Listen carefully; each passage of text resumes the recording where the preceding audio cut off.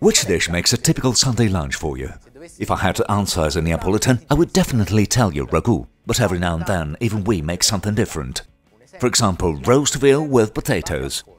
Would you like to have the recipe? Let's start.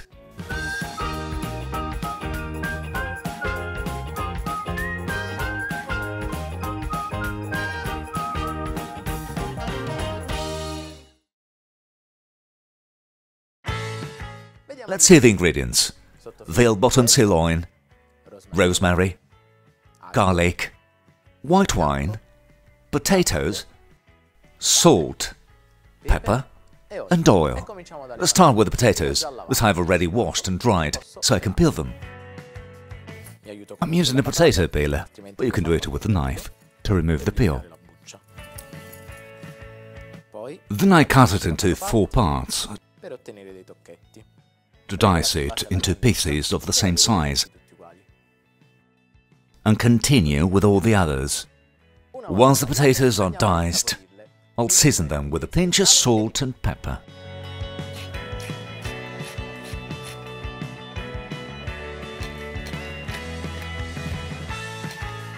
Then a nice drizzle of oil,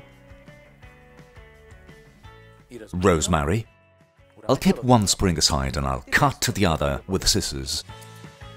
And now the garlic cloves that we have to ammunare, that is to clean. Let's toss everything by hand. I'll transfer my potatoes to a baking tray which I will grease first.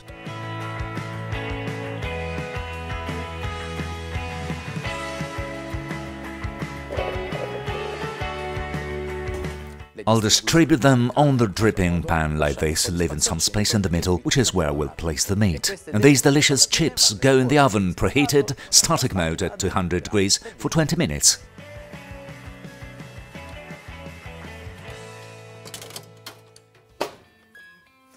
In the meantime, we can tie the meat. I'll show you how to do it. But first, we have to clean it from this silver skin, which could become chewy during cooking. I'll use a fillet knife and stab it slightly this way. Then uh, hold the flap and slide the blade. You want to hold the tissue firmly between your fingers to avoid the scraps. Once we have cleaned it, we can now tie the meat. I'll take some butcher's twine and run it under the meat, like this. Then I'll lift one end and I'll tie a double knot.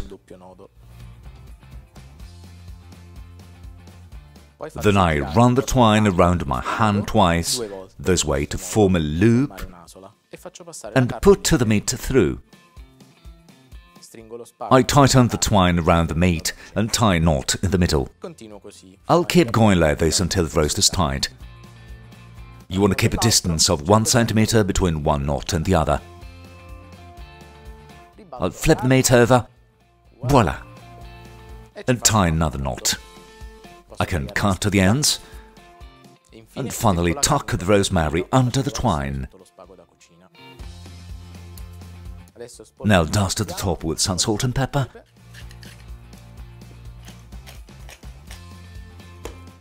And I'll roll the roast in order to season it evenly.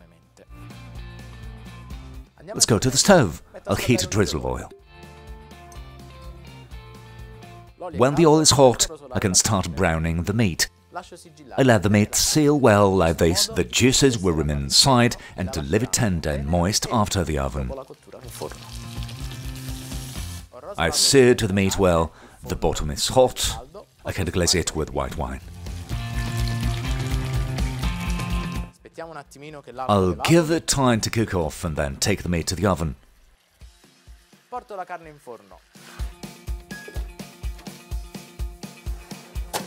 I'll place it here in the middle, where I hand-made room for it, then I coat it with the sauce. My roast will cook in about 35 minutes, but just play it safe, I'll use a thermometer. When the internal temperature reaches 65 degrees, then it will be ready.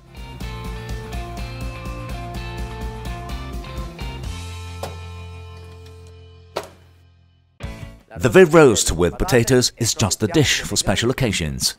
Bring it to the table and you'll impress your guests. Its aroma will fill the house and your effort will be rewarded by the great compliments you will receive. Did this recipe make you hungry? Cook it yourself and then let me know.